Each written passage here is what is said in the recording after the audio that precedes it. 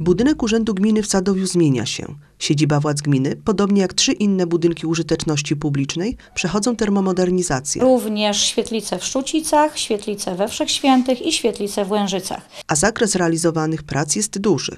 Budynki będą docieplone, wymienione zostaną drzwi i okna. W obiektach będą nowoczesne systemy grzewcze, fotowoltaika i pompy ciepła. Pompy ciepła zastąpią e, ogrzewanie kominkiem czy elektryczne przede wszystkim, e, a fotowoltaika no, jest konieczna, żeby e, wzmacniała działanie pomp ciepła. One po prostu zużywają dużo prądu. Gminne obiekty mają być ładniejsze, ale to nie jest główny cel prowadzonych prac. Staramy się, aby minimalizować koszty utrzymania tych obiektów, stąd ich termomodernizacja. Na termomodernizację gmina Sadowie otrzymała 1,5 miliona złotych z Regionalnego Programu Operacyjnego. Kosztorys prac opiewa na ponad 2 miliony 700 tysięcy złotych. Jak informuje wójt Sadowia, po rozstrzygnięciu przetargów wiadomo, że trzeba będzie dołożyć jeszcze milion złotych i o pozyskanie takiej kwoty samorząd Sadowia stara się.